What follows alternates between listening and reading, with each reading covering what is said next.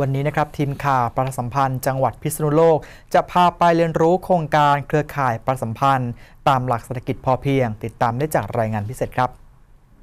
ปัญหาหนี้สิน ปัญหาเศรษฐกิจ ปัญหาต้นทุนทางการผลิต ปัญหาความยากจน ปัญหาเหล่านี้เป็นปัญหาที่ต้องแก้ไขให้การช่วยเหลือประชาชน เกษตรกร และทุกกลุ่มในสังคมแบบยั่งยืน ด้วยการน้อมนำศาสตร์ของพระราชา ตามหลักปรัชญาเศรษฐกิจพอเพียง ของพระบาทสมเด็จพระปรมินทรมหาภูมิพลอดุลยเดชในหลวงรัชกาลที่ 9 มาปรับใช้ สามารถใช้ได้เป็นผลอย่างดีในทุกอาชีพ ทุกคนในสังคม ด้วยพระอัจฉริยภาพ พระปีชาสามารถที่ก้าวไกลในการแก้ไขปัญหาต่างๆ ของประชาชน ให้พออยู่ พอกิน อยู่อย่างพอเพียงเลี้ยงตนเองและครอบครัวได้อย่างมีความสุข สำนักงานประชาสัมพันธ์จังหวัดพิษณุโลกเป็นอีกหน่วยงานหนึ่งที่เห็นความสำคัญ ตามหลักปรัชญาเศรษฐกิจพอเพียง ของในหลวงรัชกาลที่ 9 ได้น้อมนำมาส่งเสริม ให้ประชาชนในพื้นที่ได้ปฏิบัติตาม ตามโครงการเครือข่ายประชาสัมพันธ์ ตามหลักเศรษฐกิจพอเพียง ปี พศ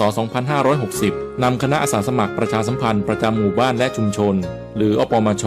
และคณะสื่อมวลชนกว่า 40 คน เข้าศึกษาดูงานตามศูนย์เรียนรู้ ด้านเศรษฐกิจพอเพียง ที่ประสบผลสำเร็จอย่างเป็นรูปธรรม สามารถนำไปขยายผลด้านการประชาสัมพันธ์ เข้าศึกษาดูงานใน 3 แห่งด้วยกันประกอบด้วย จุดที่ 1 เดินทางไปศึกษาดูงานที่ศูนย์เรียนรู้เกษตรบ้านบ่อทอง เกษตรทฤษฎีใหม่ตำบลบ่อทองอำเภอบางระกำซึ่งเป็นของนายวิรัตทองดอนยอด Young Smart Farmer น้อมนำหลักปรัชญาเศรษฐกิจพอเพียงมาปฏิบัติ ด้วยการปลูกพืชแบบผสมผสาน และเลี้ยงสัตว์ บนเนื้อที่ 1 ไร่ สร้างรายได้กว่า 20,000 บาทต่อเดือน จากนั้นเดินทางเข้าศึกษาดูงานที่สหกรณ์การเกษตร เพื่อการตลาดอาหารปลอดภัย กรีนมาร์เก็ตพิษณุโลกจำกัดของเทศบาลตำบลพันเสา อำเภอบางระกำ เยี่ยมชมการปลูกผักปลอดสารพิษ ได้มีการรวมตัวกันของเกษตรกร จัดตั้งขึ้นเป็นสหกรณ์ ภายใต้แบรนด์กรีนมาร์เก็ตทำให้สมาชิกมีรายได้เพิ่มขึ้น จากการจำหน่ายพืชผักปลอดสารพิษ เฉลี่ยวันละ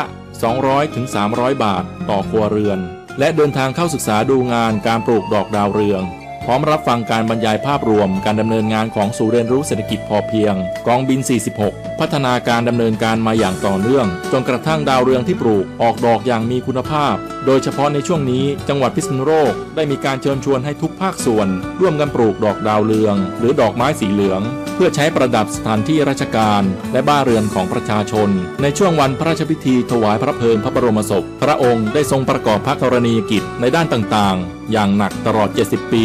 หลักปรัชญาเศรษฐกิจพอเพียง เป็นอีกหนึ่งแนวทางตามพระราชดำริ อันจะก่อให้เกิดประโยชน์แก่ปวงชนชาวไทย ในการยกระดับคุณภาพชีวิตอยู่อย่างพอเพียง สร้างความสุขแบบยั่งยืน ต่างน้อมสำนึกในพระมหากรุณาธิคุณเป็นร้นพ้นอันหาที่สุดมิได้